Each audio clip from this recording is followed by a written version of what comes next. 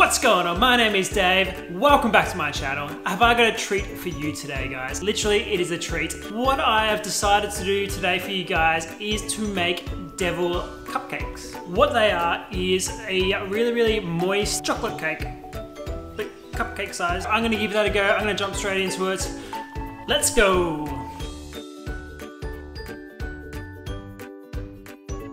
Start off with is some bicarbonate soda, some salt, and some plain flour. What we've got again, guys, is a hell of a lot of sugar, some raw sugar and some brown sugar. We've got some butter and two eggs. Make sure they're room temperature, guys. We've got a quite a bit of cocoa as well as some buttermilk. We've also got some lukewarm water and some tap hot water.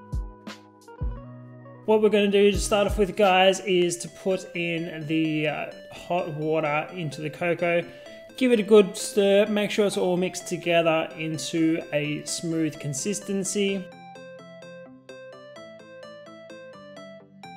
What we're going to do is take the tap temperature water and mix it into the buttermilk with two teaspoons of vanilla essence.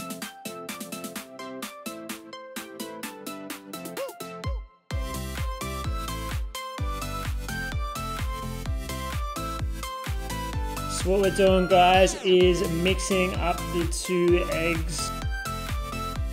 Put the butter into a reasonable sized bowl and what we're going to do is cream the butter and the sugar together. A few moments later. So now that we've creamed the butter and the sugar together, we can add the egg mixture. Make sure it's just all nice and mixed together. Don't worry about over mixing it, just so it is all thoroughly combined.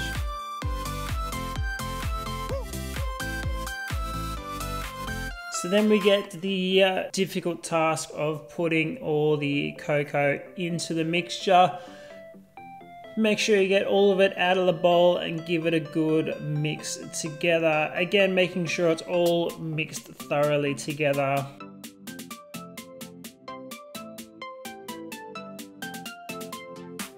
So what we're doing now guys is getting the flour and the buttermilk mixture prepared.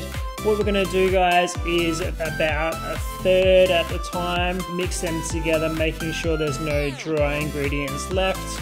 Try not to use the spatula I use guys, it was terrible idea. Make sure it's a long handled one and your hands will get a lot less messy. So continuously making sure there's no dry mixture left before we add in the liquid ingredients.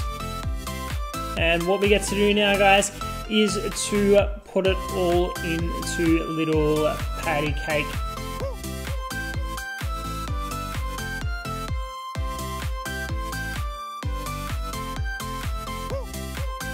A few moments later. So job well done guys. That is about the height of the mixture. What we get to do is chuck it straight in the oven at 180 degrees on fan forced. Alright guys, so my first take at making devil cupcakes for you kind of worked out, kind of didn't work out. What did work out for me was cupcakes themselves. They turned out quite nicely. Let me show you what they look like.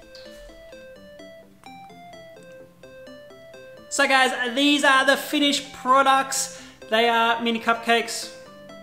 Notice they're dripping down the edges. That's what didn't work for me. The icing on the cake wasn't actually the icing on the cake this time. Didn't really work for me at all. I don't know what went wrong. I think it was a little bit too liquidy, um, so it has all dripped down the sides, and that's why I've only iced six of those cupcakes today. On the plus side, guys, they do taste really, really, really, really good. I am pleasantly surprised on how these cupcakes turned out. And if you guys wanted to give it a go or have given it a go, let me know in the comments below how you guys fared and how they turned out for you guys. In the meantime, guys, I'm gonna be eating a cupcake.